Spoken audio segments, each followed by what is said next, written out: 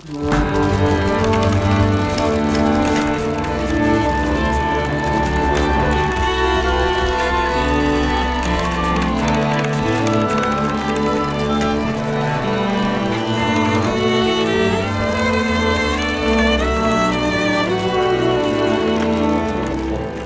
cette année 2021, les écoles d'art américaines de Fontainebleau fêtent leurs 100 ans et s'inscrivent dans une longue tradition.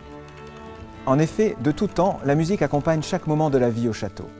Au XXe siècle, les écoles d'art américaines renouent avec ce passé musical en offrant à de jeunes musiciens venus du monde entier un enseignement de grande qualité pour leur transmettre à la fois la tradition française, mais aussi toutes les clés pour s'exprimer et créer de nouvelles œuvres.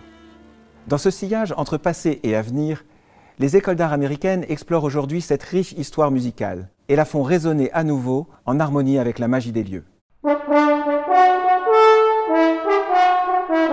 La Galerie des Serres, une des salles les plus vastes du château, retentit encore d'une musique particulière, les sonneries de chasse. Construite au début du XVIIe siècle, elle est décorée de têtes de cerf en plâtre portant de véritables bois d'animaux chassés aux alentours. Sur les murs, on peut admirer de belles vues cavalières des forêts et maisons royales.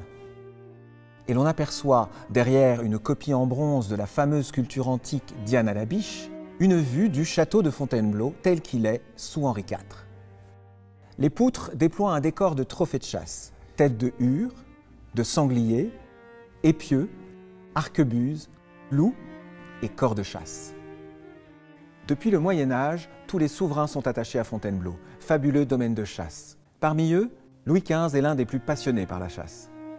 En 1733, il commande au peintre Jean-Baptiste Oudry une série de tableaux représentant les chasses royales qui doivent servir de modèle à des tapisseries exécutées par la Manufacture des Gobelins. Cent ans plus tard, en 1835, Louis-Philippe fait installer certains de ces tableaux dans ce qu'on appelle l'appartement des chasses et dans l'escalier de la reine que Louis XV a fait percer en 1768. Dans l'un de ces tableaux, cerf aux abois dans les rochers de Franchard en forêt de Fontainebleau, on voit le cerf acculé contre les rochers, cerné par les chiens qui jaillissent de toutes parts. Au premier plan, Louis XV, monté sur un cheval blanc, ordonne de sonner la lalie. C'est le moment où l'animal va être mis à mort.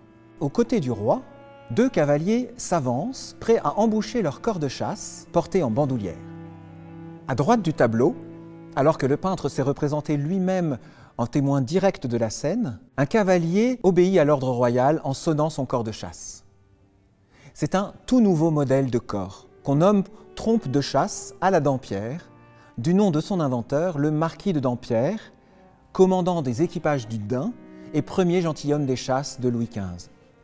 C'est une trompe en raie constituée d'un tube d'une longueur de 4 mètres et demi que l'on décide en 1729 d'enrouler sur deux tours et demi pour rendre le son plus doux et la trompe plus pratique à manipuler. Ce tout nouveau modèle est nommé la Dauphine, en hommage à la naissance, cette année-là, du dauphin, le fils aîné du roi.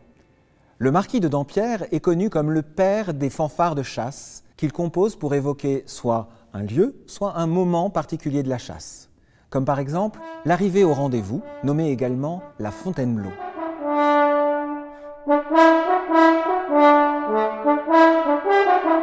Ou encore la laissez-cour royale, qui décrit le moment où les chiens sont détachés pour s'attaquer aux cerfs.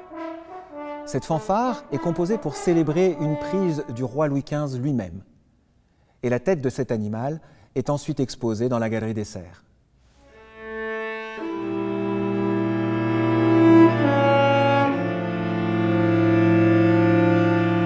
Dans ce décor, on peut imaginer un banquet pour fêter la Saint-Hubert et déguster le produit des chasses du roi. Le marquis de Dampierre accompagne ce festin en musique, lui qui sait aussi bien jouer du corps, mais aussi de la flûte, du violon et de la viole de gambe. Il est rejoint par un autre musicien, le jeune violoncelliste Jean-Baptiste Barrière, à qui Louis XV accorde en 1733 le privilège de séjourner six ans à Fontainebleau pour composer et publier sa musique, exactement au même moment où Jean-Baptiste Oudry commence ses tableaux de chasse.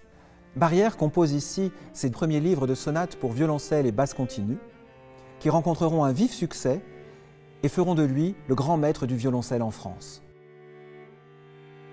Interprété ici par Diana Ligeti et Andrew Briggs, L'allegro prestissimo de la sonate en sol pour deux violoncelles semble être inspiré d'une chasse de Louis XV, tant son rythme évoque la course des équipages de chiens et la cavalcade des chevaux poursuivant le cerf, comme l'a peint Jean-Baptiste Oudry.